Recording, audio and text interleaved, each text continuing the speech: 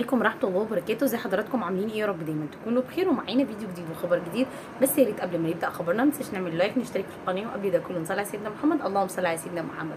والنهاردة طلت علينا سماره بحاجة جميلة جدا جدا جدا ودعاء جميل وكلام جميل جدا. إنه طبعا أفضل حاجة إن أنت تصلي على سيدنا محمد. اللهم صل على سيدنا محمد يوم الجمعة. فأكثروا من الصلاة على سيدنا محمد.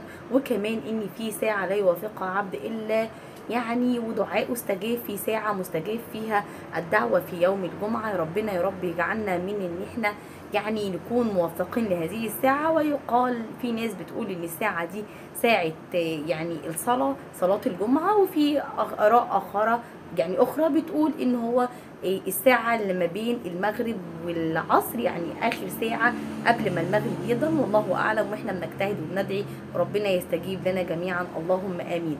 ومش بس كمان كده بتذكر الناس. بتذكر كل محبيها ومتابعيها بقراءة سورة الكهف لأن هي بتنور ما بين الأسبوعين وإحنا كده من وإحنا صغيرين متعودين اللي ما يسمعش الخطبة بتاعة الجمعة واللي ما يقراش سورة الكهف يفضل كسلان من الأسبوع للأسبوع. فطبعا نوصي حضراتكم بقراءة سورة الكهف لأنها بتنير ما بين الجمعتين. ومش بس كمان بتظهر ببوكيه ورد لونه أحمر وإن هي فرحانة بيه جدا وان هو هدية من حد لكن ما قالتش مين الحد ده ولكن هي فرحانة بيه. ربنا يا رب يفرح قلبها دايما ويفرح قلوب حضراتكم ويفرح قلوبنا جميعا يا رب العالمين. ربنا يدخل السرور والفرحة في قلوبنا ولعلها تكون يعني ساعة إجابة دلوقتي. آمنوا على الدعاء وادعوا لبعضكم بالخير. زي ما نقول دايما الخير لما تتمنيه لغيرك مش هينقص منك حاجة بل بالعكس هيجي لك أضعافه.